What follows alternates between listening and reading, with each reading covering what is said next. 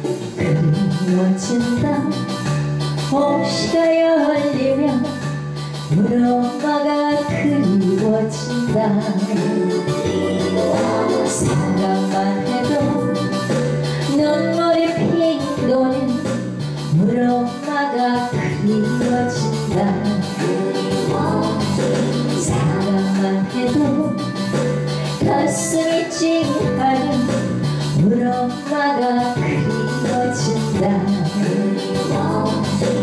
우리 엄마가 생각이 난다.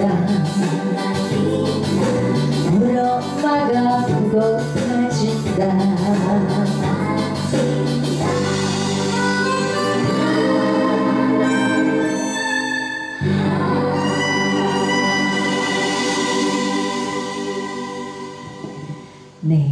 홍시 하면 네, 가을의 상징이죠. 네, 홍시. 어, 그 홍시만 보면 엄마 생각이 어, 난다고 하네요. 그 요즘 어린 아이들 집에 가보면 장난감들이 뭐 엄청 종류가 많아요. 네, 그래서 어, 그것도 뭐 이제 그만 가지고 놀다 보면 실증이 나서 또 바꿔주고 또 바꿔주고 이런 그런 세상인데 사실 옛날에는 그러지 못했잖아요. 장난감은 무슨 그죠? 네. 그럼 오로지 아이들이 보채고 뭐 배고파서 울든 뭐 어디가 불편해서 울든지 간에 옛날에 애기들이 이렇게 울고 보채면 그냥 엄마는 그냥 그 그냥 젖을 이렇게 물려주시는 것밖에는 도리가 없었던 것 같아요. 업어서 이렇게 좀 칭얼거리면 이렇게 달래주고 어, 그런 것밖에는 도리가 없었던 어, 엄마의 젖가슴이 꼭 이게 무슨 장난감 같은 그런 역할을 어, 했다고도 생각이 듭니다. 네 그런 시절을 생각해보고 요즘 아이들한테 이런 얘기하면 꽃대 소리 듣겠죠? 네 그렇습니다. 세월이 그만큼 네, 흘렀어요. 자 고향무정이라는 노래가 있지요. 네 우리 아버님들도 참 좋아하시는데 음, 이 노래를 한번 해보도록 하겠습니다.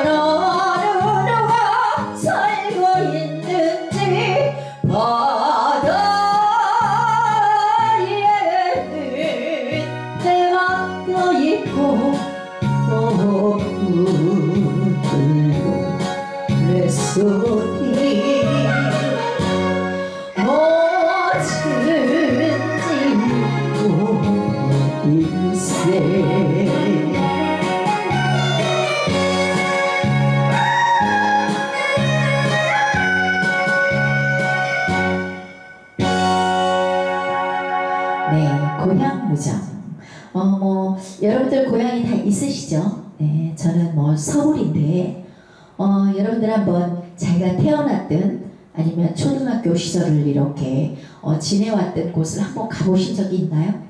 음, 그 한번 안 가보신 분들은 시간을 내서 한번 가보시기 바랍니다. 차로 이렇게 한 바퀴 돌면, 어, 근데 아마도 10중 8구 거의 그 옛그 정취는 아마 없어졌을 거예요. 저도 살던 동네가 어, 부가양동이었는데 그 동네가 다 개발이 돼가지고 예, 저희 집이라든지 어떤 골목 뭐 이런 게 아주 굉장히 생생한데 다 없어졌어요. 네, 좀 아쉽기도 하고 그렇습니다. 근데 한번 그 옛, 옛날에 이 어렸을 때 지내왔던 그 동네들을 한번 나의 발자취를 이렇게 돌아보는 것도 어, 재밌더라고요. 재밌고 한번 추억을 더듬어 보는 시간이 되는 것 같아서 어, 좋았어요. 여러분도 한번 한번 해보시기 바랍니다. 네. 자, 어, 이번 추석에는 그 연마다 뭐 이제 예매하느라고 굉장히 기차 기차표를 예매하느라고 막 어, 굉장히 뭐 힘들게 하시는 것 같은데 어, 올해는 못 가시는 분이 굉장히 많죠. 그리고 또 부모님들도 오지 말라고 하시고 네. 그 서로의 안전을 위해서 보고 싶은 얼굴을 1년에 한두 번 보고 싶은 얼굴을 못, 뵈, 못 보는 이런 경우가 참 생겨서 안타깝습니다. 그래서 음, 마음이나마 마음이나마 우리 고향역에 어, 가는 기분으로 어, 기차 타고 가는 기분으로 한번 어, 달려보도록 하겠습니다. 고향역이라는 나훈아 씨의 노래 한번 해볼게요.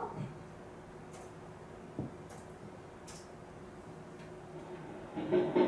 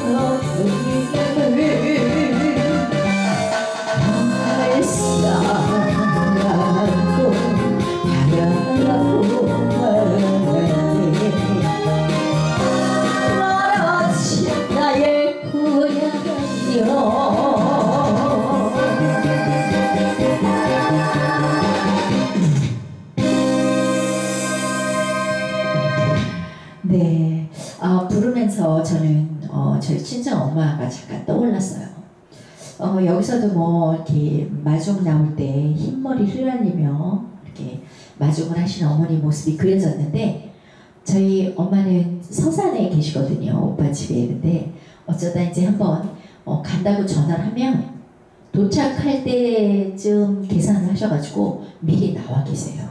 왜 나와 계시는지 어, 자식을 보, 빨리 보고 싶은 마음이시겠죠. 네. 어, 나오지 말라 그러셔도 그렇게 나오시고 또 갈 때 되면 차가 안 보일 때까지 막 송영을 내면 더 빨리 뛰어오시는 거 아, 아주 죽겠어요. 예. 그래서 보면 반갑고 또 헤어질 때는 막 그 뭉클함이 어, 이루 말할 수가 없는데 아마 여러분들 어, 부모님도 다 그러실 것 같습니다. 네. 아, 좀 괜히 뭉클해지네요. 네. 아, 음, 그 추석 때 그래도 어, 많이 못 모이시고 이렇게 하지만 여러분들 그래도 어, 기분 많이 내세요. 맛있는 거 많이 하셔가지고 많이 드시고 네 먹는 게 나는 거다 이런 얘기 있잖아요. 네 맛있는 거 많이 이렇게 준비하셔서 어디 많이 이렇게 나가지도 못하니까 집에서 집에서 식구들이랑 어, 만난 거 많이 이렇게 해서 좀 드시는 올 추석이 어, 됐으면 좋겠습니다. 네, 천연원군이라는 우리 민요죠? 네, 한번 가볼게요. 네, 여러분들 같이 즐겨주시기 바랍니다.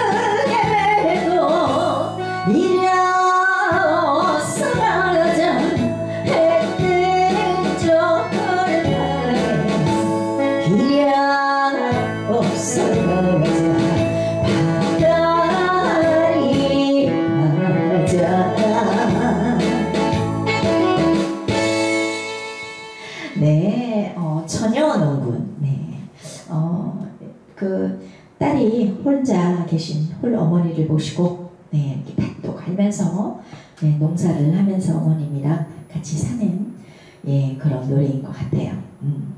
어, 어, 오늘은 이제 바로 어, 추석 목전에 있죠. 네, 어, 뭐 하든지 안 하든지 가든지 안 가든지 이게 마음이 좀 어, 심란하고 올해 같은 경우 더 어, 좀 부산한 것 같고 어, 그런 때입니다. 예, 그런 때에 어, 여러분들 어, 마음적으로도 이렇게 여유가 많지는 않으시겠죠. 네. 그래도 할건 하시면서 어, 남은 기간 이렇게 어, 여유가 좀 있잖아요. 그 기간에 다 끝내놓고 어, 이렇게 유튜브도 보시면서 이렇게 좀 즐기시고 음, 그런 자기만의 시간을 갖는 것도 좋을 것 같아요. 네. 하나문화재단께 함께하는 네, 미오 노래교실 네, 구독도 눌러주시고 좋아요도 눌러주시고 이렇게 해서 여러분들 많이 참여를 좀 같이 해주셨으면 네 우리 어, 관계자분들 많이 또 고생들 하시고 하니까 더 힘이 어, 될 것 같습니다. 저에게도 힘이 많이 생기니까요. 네, 여러분들 많이 어, 시청해 주시고 네, 구독해 주시기 바라겠습니다. 자 오늘은 음, 어, 추석 때 작년 추석에는 보름달을 보면서 무슨 소원을 비르셨나요? 예, 소원 한 가지씩 다 이렇게 뭐 나는 이번 올해는 내년 올해서부터는 좀 살 좀 빼게 해주십시오 뭐 이렇게 어, 소원을 비시는 분도 있고 부자 되게 해주십시오 건강하게 해주십시오 뭐 이렇게 소원들을 다 비르고 계셨는데 아마 어, 잘 이루어지고 계신가 모르겠어요. 네. 올 추석도 날씨가 좋다고 하니까 아마 커다란 보름달을 어, 여러분들 보실 수가 있을 것 같습니다. 올해는 꼭 안 하시는 분들도 네, 음, 달님에게 좀 소원을 어, 빌어봤으면 좋겠어요. 네, 어, 모두 꼭 같이 해야 되는 그 소원이 어, 코로나가 물러가게. 네, 그래서 어, 일상으로 돌아갈 수 있게. 일상의 그 고마움이 얼마나 큰지 이번에 아마 다들 느끼셨을 거예요. 네, 그래서 이번 달님에게는 꼭 그렇게 어, 코로나가 물러가게 해주세요 하고 달님에게 소원을 좀 빌어보시기 바랍니다. 아셨죠? 네, 저도 꼭 하겠습니다. 자, 달타령 한번 불러볼게요. 네, 어, 이 노래를 끝으로 우리 추석 잘 보내시고 어, 그 다음 시간에 뵙는 걸로 할게요. 달타령 가겠습니다.